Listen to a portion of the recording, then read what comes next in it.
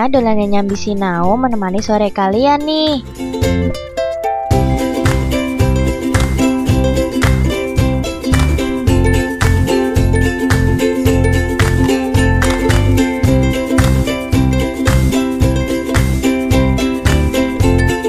Episode kali ini mau ke mana ya?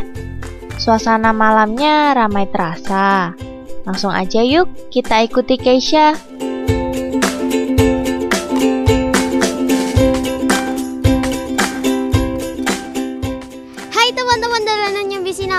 Kabar kalian baik kan? Nah, liburan kali ini kalian pergi ke mana nih? Kalau Keisha pergi ke Pasar Semawis untuk cari kuliner-kuliner. Langsung aja ya kita jalan-jalan.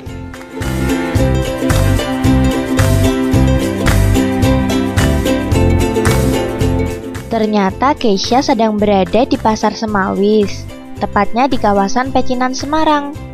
Pasar Semawis ini hanya buka setiap hari Jumat, Sabtu, dan Minggu pada malam hari saja loh.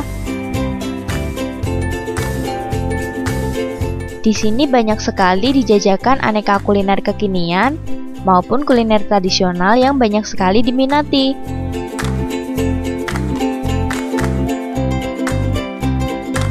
Ngomong-ngomong kuliner, siapa tahu kuliner yang dijajakan di pasar Semawis ini bisa dijadikan bekas sekolah kalian loh. Nah, daripada penasaran, langsung aja yuk kita susuri gang warung yang dipadati oleh pedagang kuliner.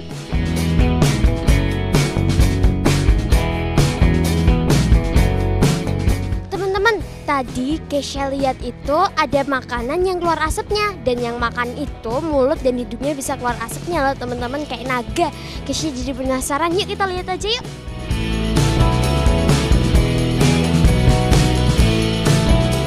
Wah, unik juga nih teman-teman. Kira-kira jajanan apa ya kok bisa keluar asapnya seperti itu? Oh, Ternyata es nitrogen. Bisa kebayang nggak ya bagaimana dinginnya? Karena sampai bisa keluar asap dinginnya.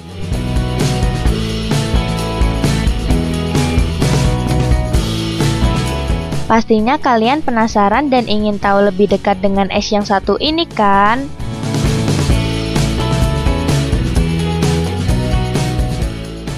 Nah teman-teman ini kayaknya esnya dingin banget nih sampai keluar asapnya kayak gini. Kesha tanya-tanya dulu aja yuk. Hai Om. Ya, om Kesha boleh tanya-tanya nggak nih Om? Uh, ini namanya es apa sih Om? Es krim Marpunang Rock and Roll. Oh. Uh, om dapat ide kayak gini dari mana nih Om? Ide ini waktu Om jalan-jalan mm -hmm. di Thailand. Oh. Uh, om nyobain di Thai Street Food. Uh -huh. Lihat pembikinan es krim dari liquid nitrogen. Oh. Uh, om, ini campurannya apa aja sih Om? Campurannya ini hmm? es krim. Iya. Terus ada momogi, Terus? ada kepandan, Iya. Ada donat kering. Iya Om. Ada Oreo. Iya. Terus lagi nih? Kasih air nitrogen. Oh, nit nitrogen. Stokesya nitrogen itu yang buat ngisi angin untuk ban itu ya Om ya? Terus Bukan. apa dong om? Nah, kalau ini liquid, liquid nitrogennya oh. terbuat dari bahan food grade, jadi bahan pembuat pembuat es krim. Oh, aman ya om berarti uh, ya om ya. Oke. Okay. Bahan instan pembuat es krim, jadi nggak usah dimasukin freezer atau kulkas nggak usah. Oh, jadi dia udah dingin gini ya om ya. Ini oh. contohnya nih langsung jadi es krim kalau dikasih. Oh iya. Nah, ini kan contohnya kan. Iya iya iya. Ini uh, dinginnya ini tahan berapa lama sih om? Tahan sampai kira-kira 10 menit sih. 10 menit doang ya om ya? Oh. Kalau Keisha mau nyobain boleh nggak nih om? Boleh. Boleh ya? ya. Bentar ya. Oke okay, oke. Okay. Ya, ya.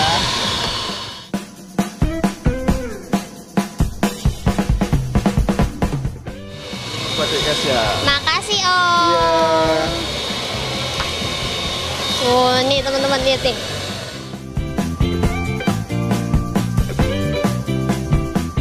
Ternyata es ini terdiri dari es krim coklat, serta aneka snack seperti pom-pom, Oreo, dan masih banyak lainnya. Untuk asap dingin ini keluar dari nitrogen, Jadi untuk pembuatan es krim juga menggunakan campuran nitrogen. Sedangkan untuk snack-snack ini sendiri juga dicampur dengan nitrogen. Jadi, kalau dimakan seakan-akan mulut kita mengeluarkan asap yang bisa tahan selama kurang lebih 10 menit. Padahal asap tersebut efek dari nitrogen yang dingin loh. Wih, keren ya. Bagaimana? Kalian penasaran ingin mencobanya bukan? Nih teman-teman, Keisha cobain pakai es krimnya. Ini udah nggak terlalu keluar banyak asapnya karena kan ini kan cuma tahan 10 menit ya teman-teman ya tapi ini masih dingin bener-bener dingin banget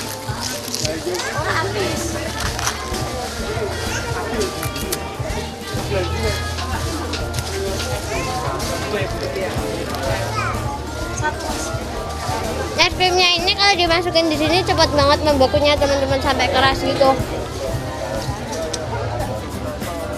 Nah,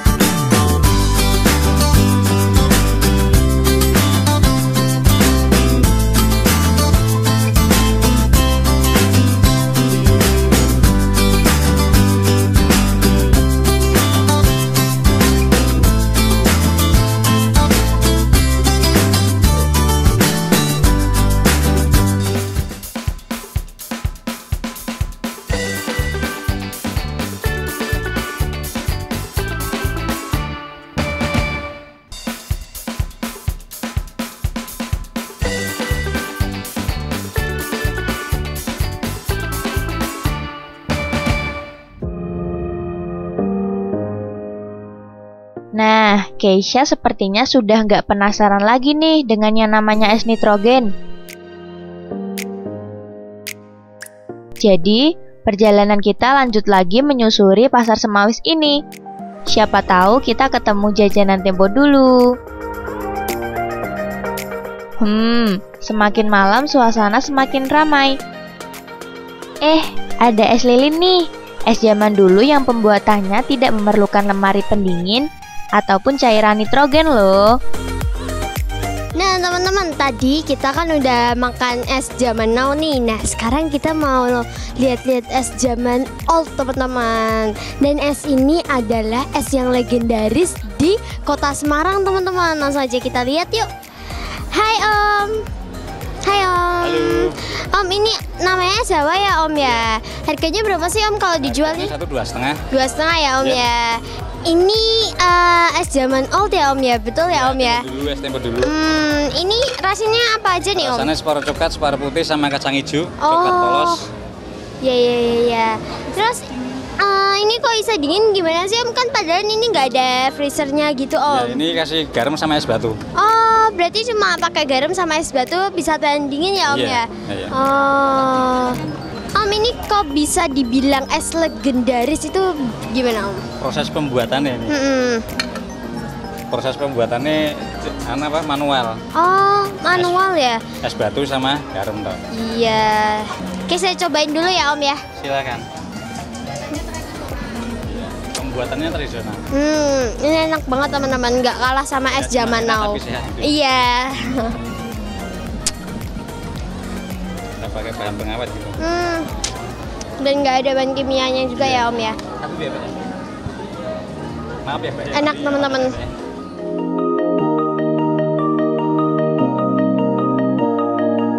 Benar sekali. Untuk membuat es lilin ini tidak memerlukan lemari pendingin ataupun freezer, melainkan cukup menggunakan es batu dan garam saja loh. Jadi, adonan es tersebut dimasukkan ke dalam cetakan-cetakan yang terbuat dari karet dan dibenamkan ke dalam es batu yang sudah dicampur dengan garam saja. Varian rasanya beraneka ragam loh. Rasa coklat, kombinasi, kacang ijo, dan vanila. Es legendaris ini sudah jarang ditemukan di zaman sekarang ini loh. Kalau tidak salah, hanya tinggal tiga gerobak saja. Salah satunya berjualan di pasar malam Semawis ini. Nah, pastinya teman-teman penasaran kan? Bisa langsung nyobain kok. Caranya, datang aja ke sini setiap hari Jumat, Sabtu, dan Minggu malam. Om Kesha boleh coba nyelup-nyelupin itu nggak Om? Iya. Boleh ya? Mana nih Om yang bisa Kesha celupin nih Om? Ini masukin coklatnya ya Om ya? Masukin. Kalau udah berarti dimasukin di sini ya Om? Iya. Langsung masukin ya berarti. Nah gitu teman-teman caranya mudah sih caranya tapi kalau nggak teliti ya kita bisa salah. Kalau yang tadi kan pembuatannya modern, nah kalau ini tradisional teman-teman pembuatannya. Sekarang, kita mau cari kuliner apa ya? Hmm, yang sedang ngetren saat ini ada donat mie. Itu loh, donat yang terbuat dari mie instan. Oh iya, bisa juga untuk bekal sekolah kalian loh. Nah teman-teman sekarang Kisha mau cobain jajanan kekinian. Nah namanya donat mie teman-teman kayak gini nih. Ini yang mentahnya teman-teman. Lihat nih, tuh. Kita langsung tanya-tanya aja yuk sama om-omnya yang ada di sini. Yuk. Hai Om, Hai. Kesha Om. Oh ya, saya Christian. Om, Kesha boleh tanya-tanya nggak nih? Boleh, boleh, boleh. Oke.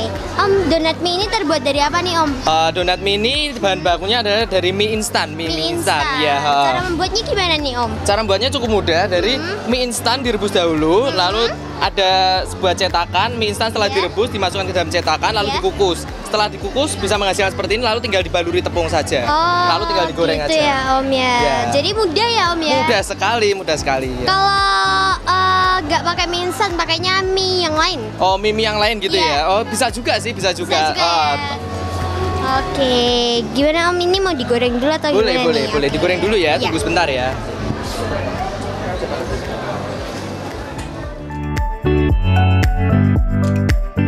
Nah, untuk membuat donat mie, terlebih dahulu kalian rebus mie instan. Setelah dingin, tiriskan dan dicampur dengan telur.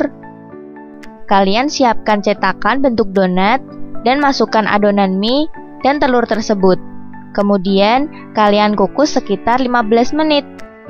Nah, selanjutnya kalian celupkan ke dalam telur dan tepung panir atau tepung roti dan siap digoreng nih.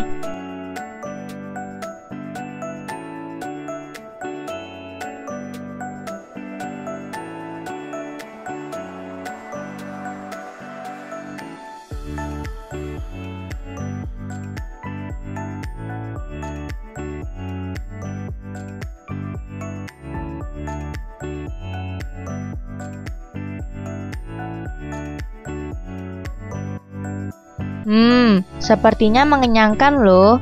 Jadi bisa kalian buat untuk bekal sekolah. Nah, supaya terlihat lebih menarik, lezat, dan kekinian, kalian siapkan toppingnya terlebih dahulu. Bisa dengan keju, ayam, ataupun sosis. Pastinya sesuai selera kalian loh.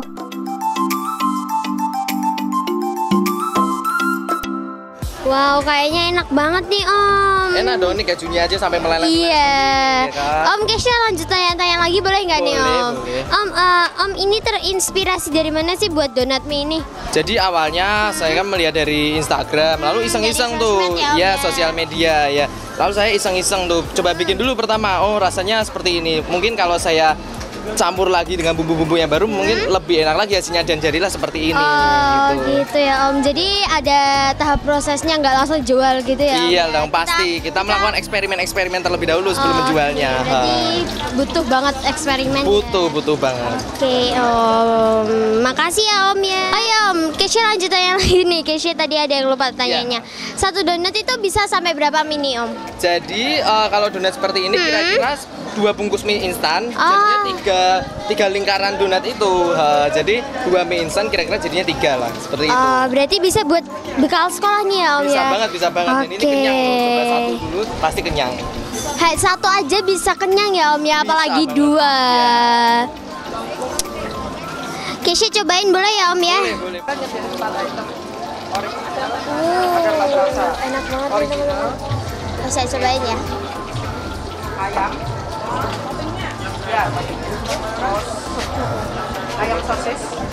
Enak banget kan, wajib nyobain nih.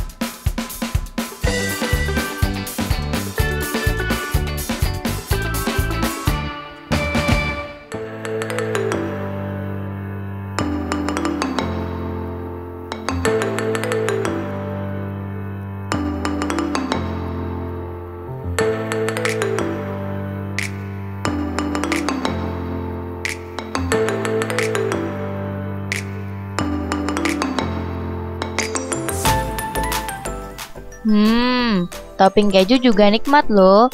Apalagi jika kejunya dibakar hingga meleleh. Rasanya pasti nikmat dan menggugah selera kalian nih. Dan tentunya kalian menjadi semakin bersemangat untuk berangkat ke sekolah.